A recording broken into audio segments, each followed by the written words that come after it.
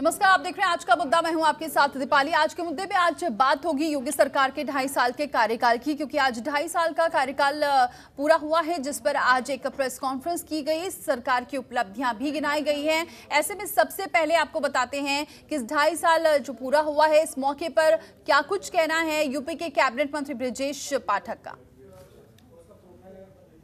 उत्तर प्रदेश की सरकार अपने ढाई साल पूरे करने जा रही है और इस मौके पर बातचीत करने के लिए हमारे साथ कैबिनेट मंत्री ब्रजेश पाठक जी हैं।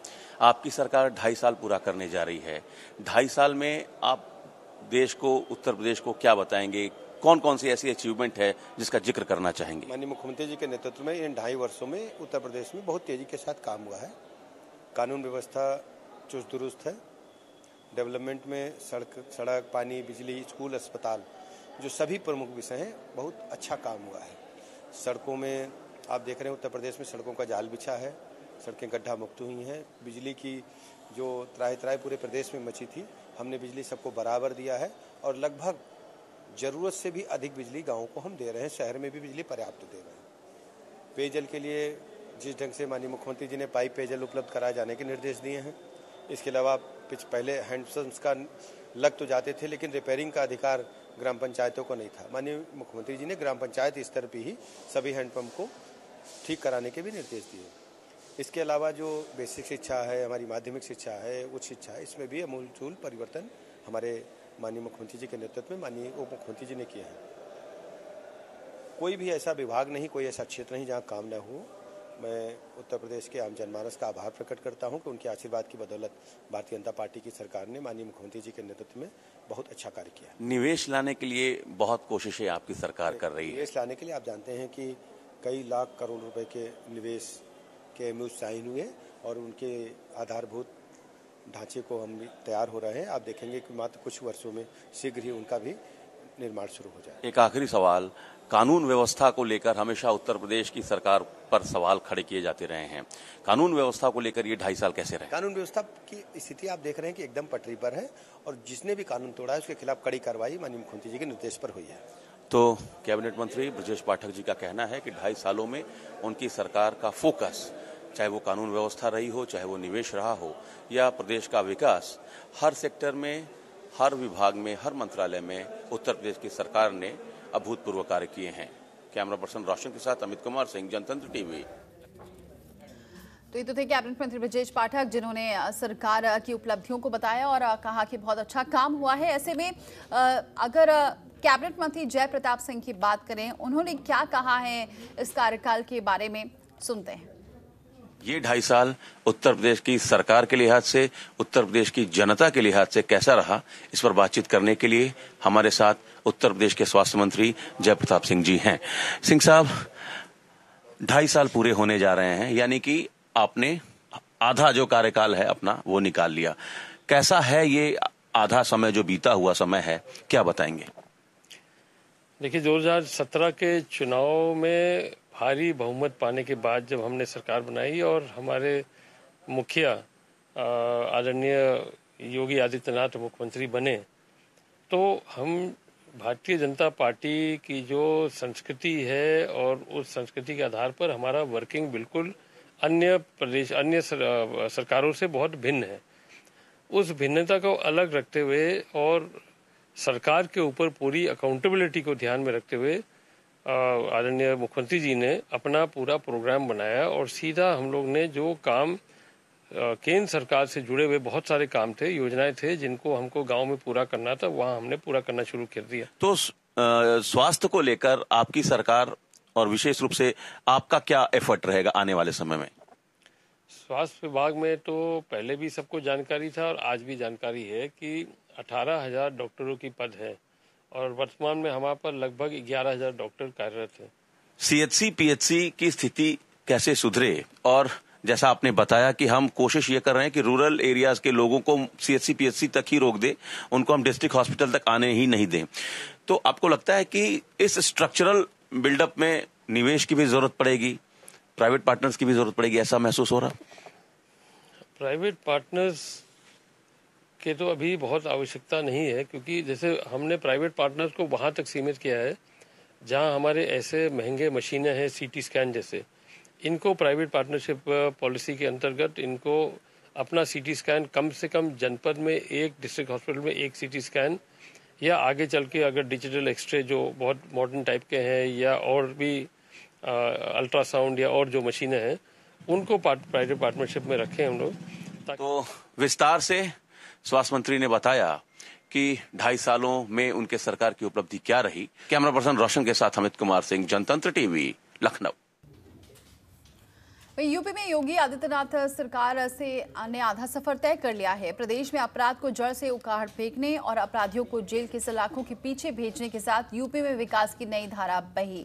ढाई साल में योगी सरकार ने तमाम उपलब्धियाँ हासिल की। हालाँकि इस ढाई साल में कई उतार चढ़ाव भी आए, लेकिन मुख्यमंत्री योगी आदित्यनाथ के नेतृत्व वाली सरकार की दृढ़ इच्छा शक्ति के आगे सभी चुनौतियाँ फीकी साबित हो गई। देखिए, योगी सरकार के ढाई साल पर ये रिपोर्ट। आज उत्तर प्रदेश सरकार अपने ढाई वर्ष का कार्यकाल पूरा कर रही है।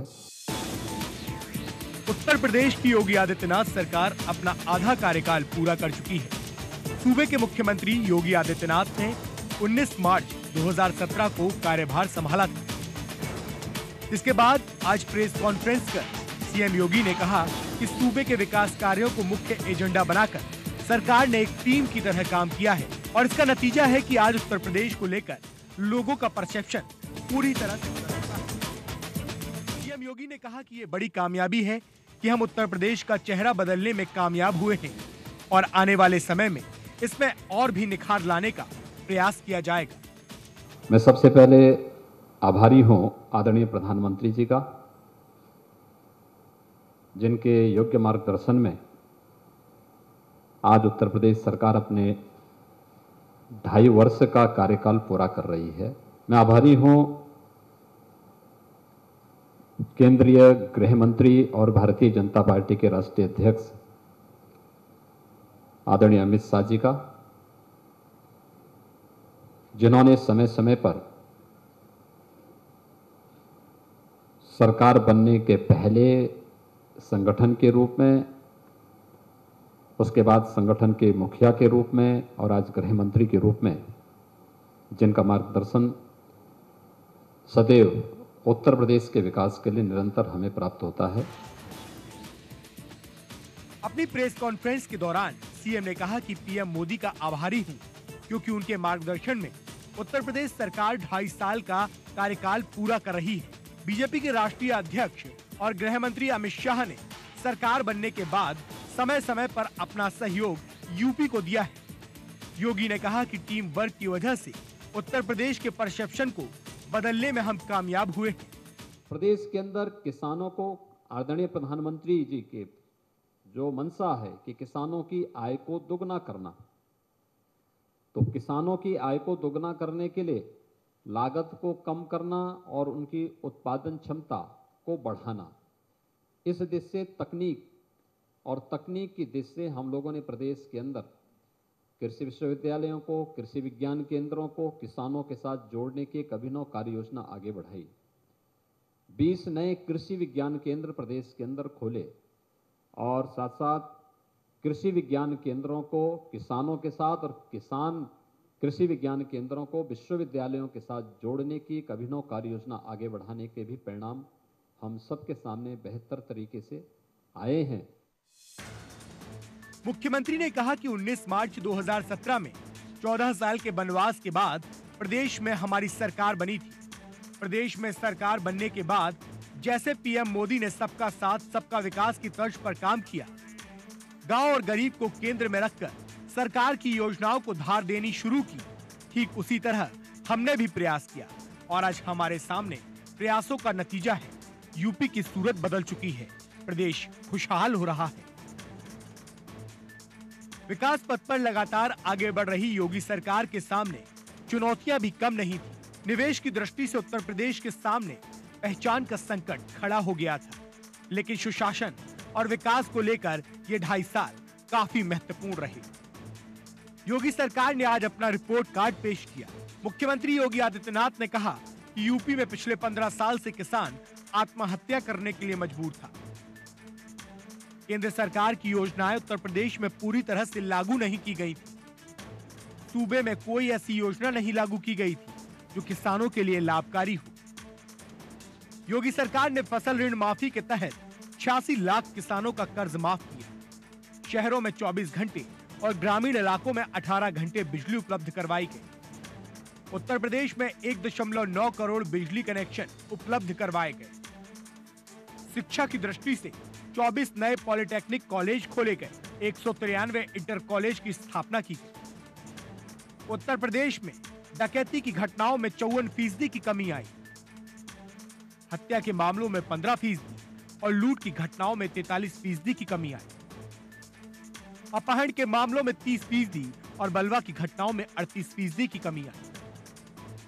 निवेश के लिए योगी सरकार ने इन्वेस्टर्स समिट का आयोजन किया। प्रयागराज का महाकुंभ भी योगी सरकार की बड़ी उपलब्धियों में शुमार है। यूपी सरकार के ढाई साल के कार्यकाल पर प्रेस कॉन्फ्रेंस करते हुए सीएम योगी ने एक किताब का विमोचन भी किया। साथ ही सरकार की ओर से दिखाई गई डॉक्यूमेंट्री में विकास कार्यों की झलक भी देखने को मिली। डॉक्यूमेंट्री फ़िल्म में पूर्वांचल एक्सप्रेसवे से लेकर बुंदेलखंड एक्सप्रेसवे तक का ज़िक्र किया गया। योगी सरकार के दौरान लखनऊ में हुए इन्वेस्टर समिट की भी इसमें झलक देखने को मिली। यूपी में दो लाख से ज़्यादा सरकारी भर्तियों का दावा किया गया। सरकार की ओर से अयोध्या में दीपोत्सव और मथुरा में जन्माष्टमी के पर्व की धूम और सरकारी व्यवस्थाओं का भी इस फ़िल्म में ज़िक्र देखने को मिला। इस डॉक्यूमेंट्री फ़िल्म में इलाहाबाद में आयोजित हुए महाकुंभ और वाराणसी में आयोजित हुए भारतीय प्रवासी दिवस के सफल आयोजन को भी सरकार की उपलब्धियों में शुमार किया गया। रिपोर्ट, जनतंत्र टीवी। और एक छोटा सा ब्रेक ले रहे हैं फॉरन लौटते हैं।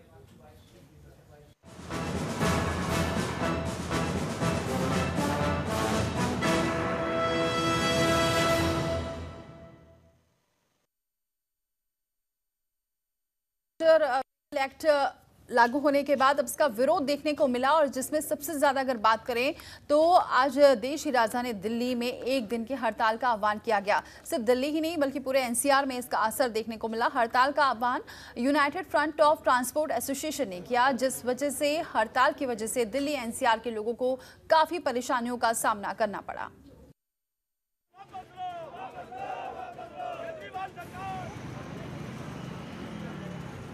देश भर में नए मोटर व्हीकल एक्ट लागू किए जाने के बाद से लगातार हो रही भारी भरकम चालान को लेकर ऑल इंडिया ट्रांसपोर्ट एसोसिएशन सड़क पर उतर आया, जिसको लेकर दिल्ली एनसीआर में चक्का जाम कर दिया और एक दिन की हड़ताल घोषित कर दी।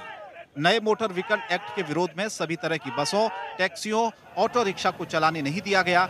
हड़ताल क्यों की गई, इसको लेकर ड्राइवर्स ने अपनी परेशानियाँ भी बताई। स्ट्राइक इसीलिए कर रखी है कि सारे लोग अत्याचार कर रहे हैं परेशान कर रहे हैं हम लोगों को।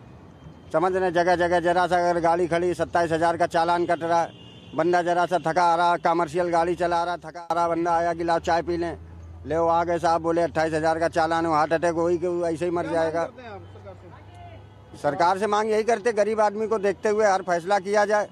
उनको परेशानी ना हो परेशान ना किया जाए। इसका कारण यह है कि एक तो टोल पे दो सौ रुपया वसूलते हैं कहते हैं फास्टैग लगवाओ, हमने फास्टैग लगवाया, दो सौ दिया इनको, ठीक है जी। उसके बाद इनके फास्टैग की लाइन नहीं है। अठारह लाइन है सिर्फ़ दिल्ली टोलों पर ठीक है। दिल्ली में टोल है पाँच पाँच हज़ार हाँ। अब कहते हैं इसको रिचार्ज कराओ, रिचार्ज नहीं करोगे तो आपको दो सौ रुपये पेनल्टी लगेगी। अब हम जाते हैं, गुड़गांव से आते हैं दिल्ली तो दो सौ रुपये देते हैं। कस्टमर की सवारी होती है दो सौ रुपये की, और टोल देते हैं दो सौ रुपये न वो हमें पैसा उबर देता है, न ओला देता है। हड़ताल में करीब इक्यावन संगठन के कर्मचारियों ने हिस्सा लिया। किसी भी तरह की ऑटो टैक्सी को चलने नहीं दिया गया। जिसने भी सवारी को ले जाने की कोशिश की उसे भी रोक दिया गया। जिस वजह से लोगों को परेशानी हुई और वह इधर उधर भटकते रहे। कई लोग तो बस स्टैंड पर ही बैठे हुए नज़र आए। अमृतसर से आ रहा हूँ मैं। यहाँ पे कोई भी टैक्सी मेरे को इस समय नहीं मिल रही है। ओला मैंने बुक कर ली है उबर मैंने बुक कर ली है। सभी कैंसिल हो चुके हैं यहाँ पे और बहुत ज़्यादा मेरे को यहाँ पे दिक्कत आ रही है। क्या कारण बता रहे हैं? हड़ताल है बता रहे हैं आज हड़ताल करी है टैक्सी वालों ने। तो इसलिए एक कैब हमने करी थी वो कैंसिल कर दी उसने इसलिए कि तोड़ फोड़ हो रही है अंदर बहुत ज़बरदस्त। हम क्या करें बताओ ई रिक्शा वाले इतने दूर दूर जा नहीं सकते। ऑटो वालों ने ओला भी हमारे कैंसिल कर दिए। क्या कारण बता रहे हैं? कारण सर हड़ताल है ये बोल रहे हैं। ज़्यादा कुछ अगर हमने ज़बरदस्ती की तो तोड़फोड़ करेंगे ऐसा बोल रहे हैं। दिक्कत तो हुई है क्योंकि कैब उधर आ नहीं पा रही है तो हम सबको पूरा लगेज लेकर इधर वापस आना पड़ रहा है। सो पुणे से आई हूँ और दिल्ली जा दिल्ली में ही जाना है कहीं। न्यू मोटर व्हीकल एक्ट लागू होने के बाद से ही लगातार जो लोगों के चालान थे वो काटे जा रहे थे और इससे कहीं ना कहीं जो ज़्यादा प्रभावित हो रहे थे वो कॉमर्शियल वाहन के जो चालक थे वो प्रभावित हो रहे थे। उसके बाद कहीं ना कहीं आज जो जितने भी ऑटो टैक्सी ड्राइवर हैं, आज उन्होंने हड़ताल रखी है दिल्ली एनसीआर के अंदर। तो इस वक्त मैं मौजूद हूँ निज़ामुद्दीन रेलवे स्टेशन के बाहर। अगर आप मेरे पीछे देखें तो जितने भी ऑटो या टैक्सी ड्राइवर हैं, उन्होंने पूरी तरह से हड़ताल की हुई है, जिससे कहीं ना कहीं लोगों को परेशानी का भी सामना करना पड़ रहा है। वहीं हमने जब ऑटो चालकों से बात की तो उनका साफ़ कहना है कि जो चालान काटे जा रहे हैं, बीस से तीस हज़ार रुपये, उससे कहीं ना कहीं जो आम ऑटो चालक है, उसके ऊपर बहुत ज़्यादा प्रभाव पड़ रहा है। वो नहीं भर पा रहे, जिसके बाद उन्होंने ये हड़ताल रखी है और सरकार से मांग है कि इन चालान की जो राशि है, वो कम की जाए। कैमरामैन सुनील के साथ सरमदीप भाटी। भारी भरकम चालानों को लेकर वाहन चालकों का विरोध उग्र भी हुआ। उन्होंने जमकर सड़कों पर प्रदर्शन किया। दिल्ली में हड़ताल का असर नज़र भी आया और लोगों को परेशानियाँ भी हुई। दरअसल दिल्ली में नब्बे हज़ार से ज़्यादा ऑटो और करीब दस हज़ार काली पीली टैक्सियाँ चलती हैं। ऑटो टैक्सी की प्रमुख यूनियन इस हड़ताल के समर्थन में आ गई। इसके अलावा दिल्ली में 900 सौ आरटीवी 6,153 ग्रामीण सेवा 600 से ज़्यादा इको फ्रेंडली गाड़ियाँ 700 फटफट सेवा 141 मैक्सी कैब चलती है। इस हड़ताल का असर इन गाड़ियों पर भी नज़र आया। ये गाड़ियाँ ज़्यादातर बाहरी दिल्ली और ग्रामीण इलाकों में चलती है और लास्ट माइल कनेक्टिविटी के लिए काफ़ी अहम है। परेशानी से बचने के लिए कई स्कूल ने बंद रखने का फैसला भी किया। हालाँकि स्कूल को बंद रखने के विषय में सरकार ने कोई सलाह या आदेश जारी नहीं किया लेकिन प्राइवेट ऑपरेटरों के ज़रिए बसों की परेशानी की वजह से स्कूलों को बंद करने की घोषणा की गई। हड़ताल के मद्देनजर बस और ऑटो चलाने वालों का दर्द भी छलका। सरकार से वो मांग कर रहे हैं आइए उनसे सीधे बात करते हैं। आ, क्या नाम है आपका? रवि सिंह। रवि, आप हड़ताल पर हैं और इससे कहीं ना कहीं जो आम लोग हैं, उनको ज़्यादा परेशानी हो रही है, जो यात्री है, उनको ज़्यादा परेशान हो रही है। क्या वजह है हड़ताल की और क्या कुछ मांगे आपकी सरकार से? हड़ताल की वजह तो जैसे कि 12 घंटा टैक्सी चालक ड्राइवरिंग करता है। हो सकता है कि 12 घंटा अगर गाड़ी चलाता है, कोई ना, एक न एक तो गलती हो ही जाती है। अगर वो पूरे दिन में 800 से 900 का वर्क करता है, अगर उसका हज़ार से 2000 चलान हो जाता है, अब बताओ आप कि 800 कमा रहा है तो वो क्यों गाड़ी चलाएगा? इसके वजह से बहुत काफ़ी परेशानी हो रही है। हाँ, पहले ये नियम लगाने से पहले उसको ट्रेनिंग करवाना चाहिए। ये मान लो कि एक महीना पहले नोटबंदी जैसे अचानक ही हो गया। इसको एक महीना ट्रेनिंग देना चाहिए। भाई तुम जूता पहनो वर्दी पहनो चाहे सरकार को वर्दी भी देना चाहिए। ऐसे बात थोड़ी है पुलिस वाले को भी वर्दी मिलता है। हम लोग भी वर्दी देना चाहिए लेकिन ऐसा कुछ नहीं किया वो। अचानक ही लगा दिया। हमारे जो है चार सवारी बिठा लेते हैं। तो उस पर जो है मतलब ये पाँच हज़ार रुपये हमारा जुर्माना होता अभी हमारे एक ऑटो वाले थे उन पर पाँच हज़ार रुपये जुर्माना भरा उन्होंने। अब वो बेचारे क्या करें? अब सौ रुपए की सवारी लेके जा रहा है उसमें से एक सवारी को हम कहाँ छोड़ के आएँगे? तो लगातार सरकार से यही डिमांड है कि जो टैक्सी चालक पूरे दिन में हार्डली 500 से या हज़ार रुपए कमाता है, वो 5000 का चालान कैसे दे पाएगा? कैमरामैन मनीष के साथ अनन्या तिवारी, जनतंत्र टीवी। तो नए मोटर व्हीकल एक्ट के नियमों को लेकर ट्रांसपोर्टर्स की हड़ताल का असर नोएडा, ग्रेटर नोएडा में देखने को मिला है। ज़्यादातर स्कूल बंद रहे, कैब और टैक्सी बंद होने की वजह से लोगों को परेशानी उठानी पड़ी।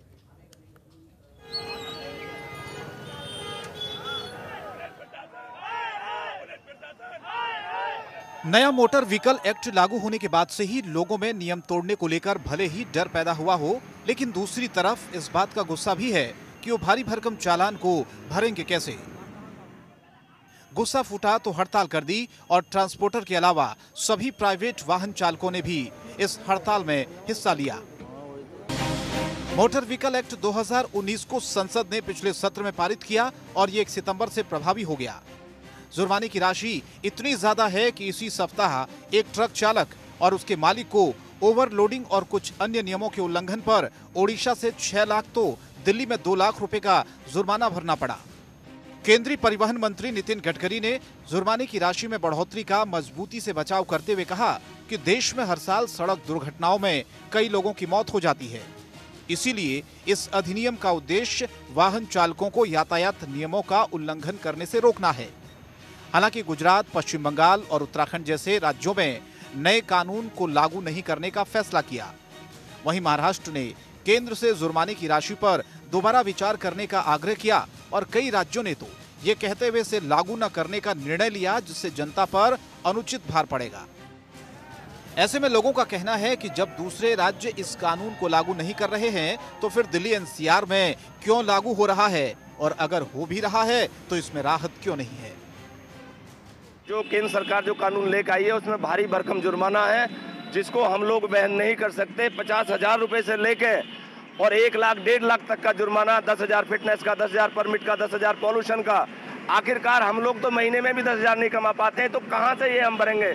इसलिए हम आज लोग हड़ताल पे हैं और केंद्र सरकार को ये मैसेज देना चाहते हैं, अब इस कानून पर पुनः विचार किया जाए और इसको जो पुनः विचार करके और तब दोबारा चलाया जाए। नोएडा में ट्रांसपोर्टरों की हड़ताल का असर देखने को मिला और हड़ताल को देखते हुए नोएडा, ग्रेटर नोएडा के ज़्यादातर स्कूल बंद रहे। हालाँकि जिन स्कूलों में परीक्षाएँ चल रही थी, वहीं छात्रों को बुलाया गया। ट्रांसपोर्टरों की इस हड़ताल को cab bus transport, dumper union, crane union समेत इक्यावन संगठनों ने अपना समर्थन दिया। सड़कों पर व्यावसायिक वाहन नदारत रहे, जो इस हड़ताल में शामिल नहीं हुए। उनको रोका गया और सवारियों को उतारा गया। साथ ही जगह जगह टैक्सी वालों ने जाम लगा दिया। सरकार से दोनों केंद्र सरकार से और राज्य सरकार से हम ये रिक्वेस्ट करते हैं कि हमारे टैक्सी वालों का जो शोषण हो रहा है उस पर ध्यान दिया जाए। ये टैक्स बताइए कि एक ड्राइवर के ऊपर करने के बाद ये तीन हज़ार रुपए हर मंथ लेने के लिए इन्होंने नोटिस भेजे हैं हमारे पास। हम तीन हज़ार रुपए कहाँ से दें? एक एक ऑटो टैक्सी बस जिनके पास इतनी कमाई नहीं है जुर्माना बढ़ा दिया गया सरकार ने किस तरीके से अवेयरनेस नहीं दी। टोल टैक्स दे रहा है बस मालिक वाहन मालिक टोल टैक्स दे रहे हैं अदर टैक्स दे रहे हैं गुड्स टैक्स दे रहे हैं उसके बावजूद ट्रांसपोर्टर को जो एक रीढ़ की हड्डी माना जाता है उसको हर बार पीसा जाता है। ना तो दिल्ली सरकार इस मामले में ध्यान दे रही है और ना ही केंद्र सरकार ध्यान दे रही है। पहली बात तो जो जुर्माने हैं वो हमारे भी किए जा रहे हैं ड्राइवर के भी किए जा रहे हैं। ड्राइवर का बीस हज़ार का जुर्माना होता है उसको भी मुझे ही भरना है। मेरा जुर्माना जो होता है वो मुझे ही भरना है। हड़ताल कोई हमने जनता को परेशान करने के लिए नहीं रखी। ये जो जुर्माने लग रहे हैं, बीस हज़ार, तीस हज़ार, चालीस हज़ार ये गरीब तबके के लोग हैं, ये कहाँ से देंगे इतना जुर्माना? तो इसके विरोध, जुर्मानों के विरोध में हमने ये हड़ताल करी है एक दिन की संकेतित हड़ताल। हड़ताली एसोसिएशन के मुताबिक भारी भरकम चालान से ट्रांसपोर्टरों की कमर टूट चुकी है। इसके साथ ही ट्रांसपोर्टर पहले से ही मंदी की मार झेल रहे हैं और चालान बढ़ने से व्यापार बंदी के कगार पर है। दिल्ली एनसीआर में ट्रांसपोर्ट एसोसिएशन की आज हड़ताल है, जिसका असर नोएडा में साफ़ तौर पे देखने को मिल रहा है। नोएडा, ग्रेटर नोएडा में करीब पचास हज़ार वाहन आज नहीं चल रहे हैं। ट्रांसपोर्ट एसोसिएशन ने केंद्र सरकार के द्वारा व्हीकल एक्ट में हुए संशोधन के बाद से भारी जुर्माने के खिलाफ आज एक दिन की हड़ताल करी है, जिसका असर ऑफ़िस टाइम पे जाने वाले लोगों को झेलना पड़ रहा है। सुबह का समय जो ऑफ़िस जाने वाले लोग हैं, उनको करीब एक से डेढ़ घंटा इंतज़ार करना पड़ रहा है। ऑटो से लेके बस और कैब जो है, नोएडा में नहीं चल रही है। जिसका असर नोएडा में देखने को मिल रहा है। अब देखना होगा कि एक दिन की जो सांकेतिक हड़ताल है, उसका असर केंद्र सरकार पर कितना पड़ेगा? शिव त्यागी, जनतंत्र टीवी, नोएडा। और फ़िलहाल इतना है, लेकिन खबरों का सिलसिला जारी आप बने रहिए हमारे साथ।